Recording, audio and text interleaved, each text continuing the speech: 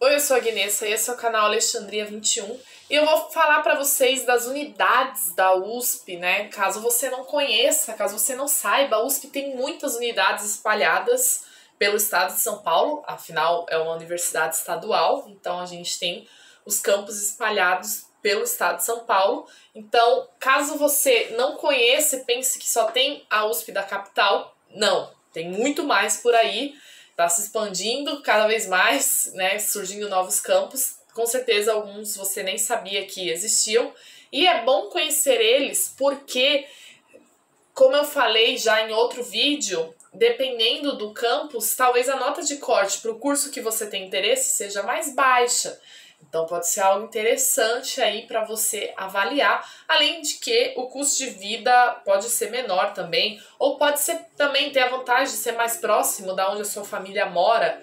Então tem essas coisas aí para se pensar e por isso que é bom conhecer essas outras unidades. Mas vamos começar já pela mais conhecida, que é a unidade da capital, né, que é o campus capital, que não tem só a cidade universitária, caso você não saiba, porque tem a cidade universitária aqui, né, na, na cidade de São Paulo, no campus capital, e na cidade universitária tem muitos cursos, né?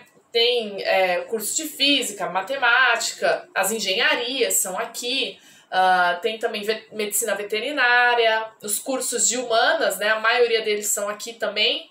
Uh, a maioria deles é aqui, olha, concordância. E tem o CRUSP também, que fica na, no campus, dentro da cidade universitária, né? No campus capital é dentro da cidade universitária. Uh, tem também a RAIA, tem o CP, que é o Centro de Práticas Esportivas, tudo isso dentro da cidade universitária. Tem alguns museus também dentro da cidade universitária.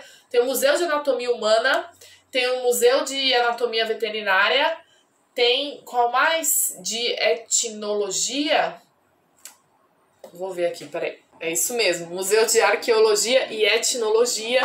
Uh, tem muitas coisas aqui dentro, tem os, os bandejões também, né? Tem o bandejão central, tem o bandejão da química, tem o curso de química também. Enfim, vários cursos aqui. Mas tem também algumas unidades do campus capital que ficam fora da cidade universitária. Que são quais? Primeiro, vamos começar pela EASH, né? Que fica na USP Leste. Então, a parte da USP que fica na Zona Leste é a EASH, Escola de Artes, Ciências e Humanidades. E lá tem cursos, como o nome diz, de artes, ciências e humanidades. então tem o curso de biotecnologia, no mais recente de lá, né, da EASH, uh, tem na parte de ciências, só para, né, obstetrícia fica lá também, tem uh, marketing, é, Educação física e lazer. Tem educação física também dentro da cidade universitária, mas daí é só educação física, ele é um pouco diferente do da IASH, que é educação física e lazer. Uh, tem também gestão de políticas públicas, gestão ambiental, então tem alguns cursos lá na EASH que não tem aqui no, na cidade universitária, né? Além da EASH, a gente tem também a escola de enfermagem, que fica fora da, da cidade universitária também. Uh, tem a faculdade de Direito, que fica fora da cidade universitária, que fica, na verdade, no centro de São Paulo, ali perto da, da Sé.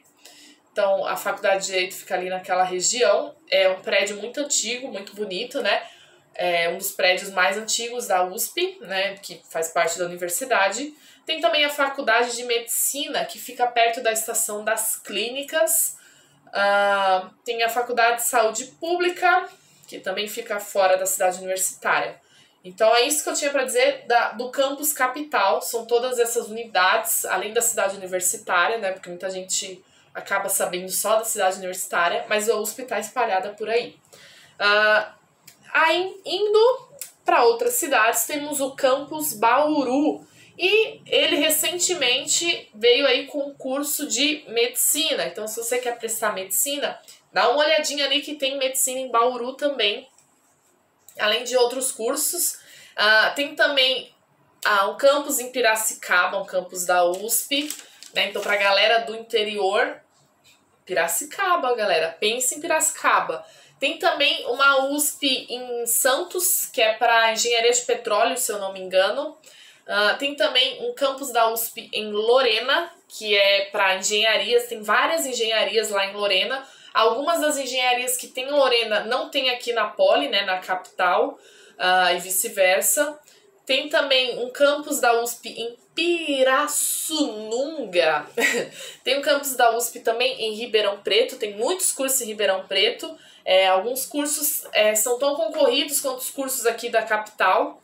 Muita gente acaba optando Ribeirão Preto em vez de escolher a USP aqui da capital. Então, é, Ribeirão Preto acaba sendo ali escolhido pela galera, dá uma olhadinha para ver se você se interessa. Tem também a USP São Carlos, que é, ela acaba sendo bem forte nos cursos de exatas, que tem engenharias lá, física também é muito forte lá na USP São Carlos, então dê uma olhada. E tem uns cursos diferentes também, como ciências ciências, biome...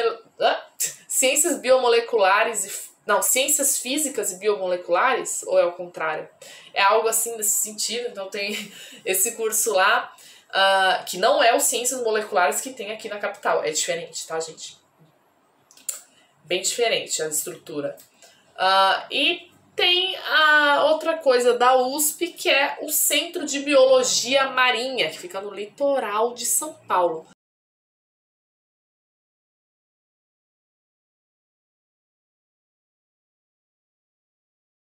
É, eu pretendo mostrar mais, é, talvez, se eu conseguir, esses campos algum dia, quem sabe, se eu for pro interior, conseguir passar por esses lugares, eu tento mostrar para vocês que aqui na capital já é até um pouco difícil. O que pode acontecer é eu conseguir mostrar, uh, por exemplo, quando tiver algum jogo em algum lugar assim. Deixa eu ver, quando eu tiver de passagem. Além disso, lembrando que todos esses campos que eu falei, né? Tem bandejão também, tem outras coisas lá que eu falei no começo aqui do campus capital, porque o campus da capital é o que eu conheço mais.